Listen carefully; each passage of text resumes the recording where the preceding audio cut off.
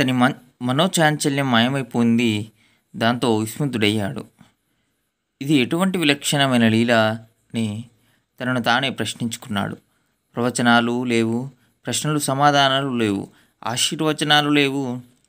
కేవలం దర్శనంతోనే సుఖం కలిగింది. చంచలమైన నా చిత్తవృత్తి కేవలం దర్శనంతోనే వృత్తి అయింది. అలౌకికమైన సుఖం ప్రాప్తించింది. దీనినే దర్శన మహిమ అని అంటారు. అతని దృష్టి సాయి చరణాలయందు నిమగ్నమైంది.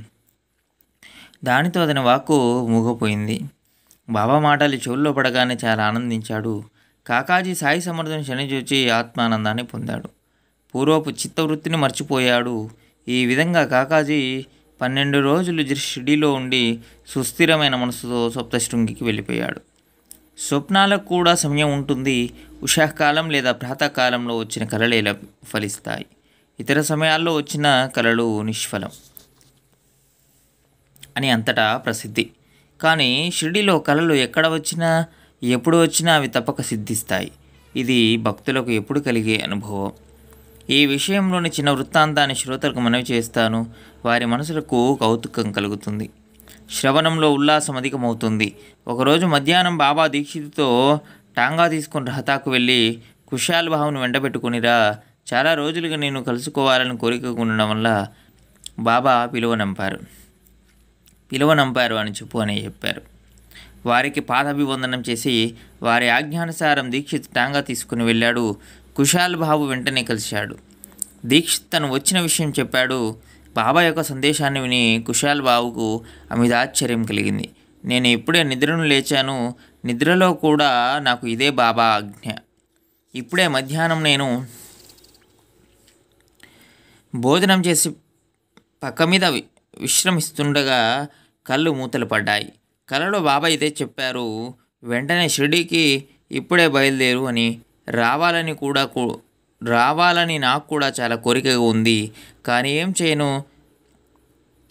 గుర్రాలు ఇక్కడ లేవు. ఇది వారికి తెలపడానికి మా అబ్బాయిని పంపాను. అబ్బాయి గ్రామ సరిహద్దు వరకు వెళ్ళాడో లేదో మీ టాంగా వచ్చింది అని చెప్పాడు.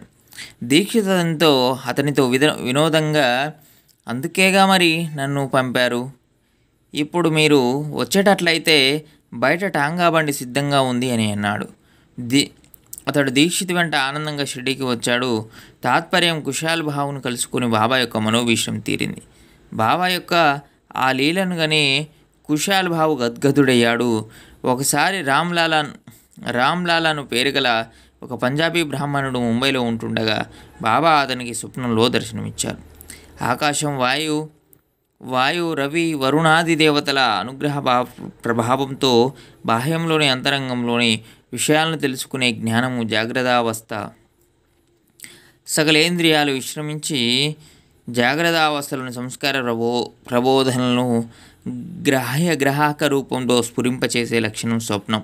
రామ్లాల్ స్వప్న విలక్షణం స్వప్నం విలక్షణం. అతనికి బాబా యొక్క రూపురేఖలు తెలియవు. అతడు వారిని మునిపెన్నడూ దర్శించుకోలేదు అయినా నా వద్దకు రా అని అన్నారు. ఒక మహాత్ముని ఆకారంతో కనిపించారు కానీ వారు ఎక్కడుంటారో తెలియదు.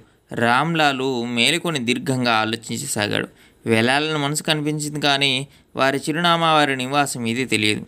అయినా అతన్ని దర్శనానికి రమ్మని పిలిచిన వారికి రప్పించుకోవడం తెలుసు.